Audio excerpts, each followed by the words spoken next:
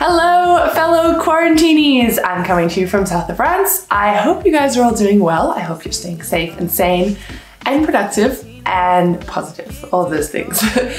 This week, I, well, I didn't sit down this week with her. It was several weeks ago before all the pandemic was worldwide. but I sat down with Kathleen Gates. She is a player in Chamalières. She's American and she's been over here for several years, so she has lots and lots of experience playing professional volleyball. And we actually chatted for about 30 minutes, so it took me a while to cut this interview down to bite-sized portion, but lots of valuable information, and I hope you guys enjoy the video.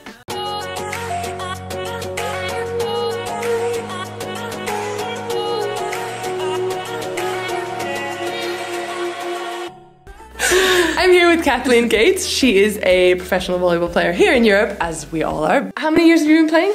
I've been playing overseas since 2013, so going on seven years, Seven years. abroad. I'm a setter. I'm from North Carolina. I played volleyball at the University of Georgia. Go Dogs. You've played only in France. Mm-hmm. And you speak French perfectly. Yeah. Not perfect. I have a really good American accent. Well- it's very strong. Let's say fluently. Yeah, yeah, Okay. yes. but I that makes a it. huge difference. I think uh, Yeah, mm. if someone is going to come over here and live in Europe, making the effort to learn the language makes a huge difference to your experience in the place. What do you think is the best part about playing pro? 100% the, relationships because there's people I would never been um, exposed to and culture I've never experienced. Even this year, we have, I think, over four or five different nationalities. So have the people coming from Northern Africa, people coming from Eastern Europe, people coming from Brazil, and so just different continents, even. And so just having that all at once because growing in the South is pretty uniform and um, you had to make an effort if you want to meet people from different cultures. But here, Yeah. just just comes so naturally and also just so interesting and you just get a different perspective and it's really refreshing. That's um, definitely a tip to take away. If anyone's coming over to the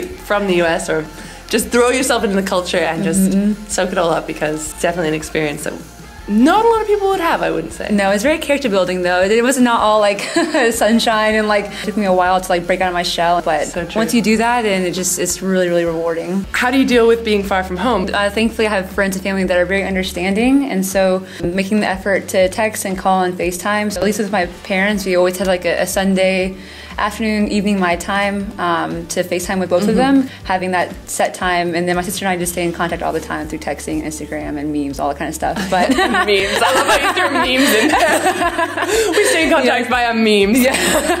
That's awesome. Who is your volleyball idol? For me, as a setter, watching uh, the men's national team setter for France, Benjamin Toniutti, uh, he's a, a mastermind. He's not that big of a player, but the way he's able to work with his teammates and to create this game like that they play together at France is really incredible. Yeah, I like that you said that you watch men's volleyball as well because it is almost two different games. It's a different style and like just how like, free they play and like fluid and they're not really just like set and rigid. They're really able to um, adapt and make cool plays and just like just have, have a lot of fun too. Like you watch them, like a lot of times they're laughing and joking and Yeah. just really living it up. And then I think sometimes.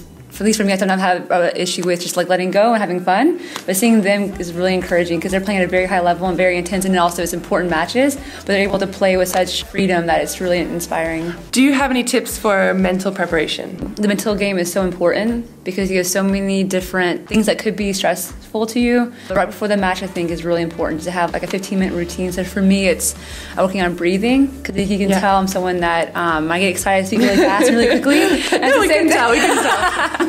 and that's the same thing with like over. I don't need someone to hype me up. I need, I need to right. calm down. You need to just I'm find your the opposite, center, like and so a little bit. Yeah. yeah, exactly. So I've worked with a couple of different mental coaches. Um, So doing breathing exercises and listening to music, and then visualization, just thinking about what the certain things I want to do uh, during that match, and I think about those and ready to go. Do you have any tips for setters? I think it's just it comes down to relationships again, and just realizing how you communicate with your teammates who you're working with on the court, but also with your coach, who's also someone that's going to help you lead you um, running the offense, and just watching a lot of volleyball and just seeing different styles. And then once you find a setter or someone that you like, then you just do watch how they do it and maybe even like reach out to them and ask them how they, they train. Earlier in my career, I was someone that was just crazy about getting reps and doing footwork. I've interviewed a, a few setters now, and they all have said yes, footwork, footwork, mm-hmm. footwork. Getting underneath the ball, getting your hands to the ball is the first and most important things. But I think that's also important what you said about watching other setters. Mm-hmm. Don't just rely on your coach giving you all the information. Go out there and just watch. Just watch as much Yeah, volleyball as humanly possible because that's how humans learn. And people are so fortunate now because they have things like back at home and there's FloVolleyball, there's also Euro volleyball, so you can watch all this really high level volleyball, which growing up like in the early 2000s, like what's Yeah, we're not option? talking about when we, Yeah, when we grew up. uh, Didn't have memes. VHSs. It's it's easier than ever to get information, and that's uh, that's what we're doing here. That's Yeah. exactly what we're doing. We're trying to just spread information about volleyball and pro volleyball life. So I hope you appreciate it. yes, everyone.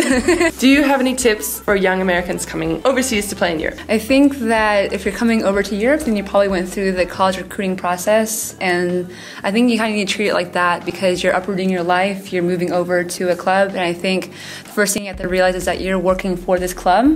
So the expectation that you're here to play volleyball, to do things with the club, to be like their their face for the community, and so that's really what you're there for. And then all the cool stuff like traveling and um, going out to eat and all this stuff is like just extra. Yeah. And so I think because then once you do that, once you establish yourself as someone that's serious, then everyone on your team has a lot of respect for you, and you're able to do the fun stuff. You can reach out to people that have lived in those countries because some countries are easier than others, I think, to adjust to. Within the team, most people will speak English, mm-hmm, but mm-hmm. yeah, exactly. Playing As soon as you go outside of of that, as soon as you go to the bakery down the street, as soon as you go to the mm-hmm. supermarket, you're going to want to have a basic understanding of the language to feel comfortable, to feel at home. I'm going to give you a couple of rapid fire questions. Oh, okay, here we go. I didn't. I didn't prep her with No. these ones, so it's, it's going to be off the cuff. Okay. Fruit or vegetables? Uh, vegetables. Mac or PC?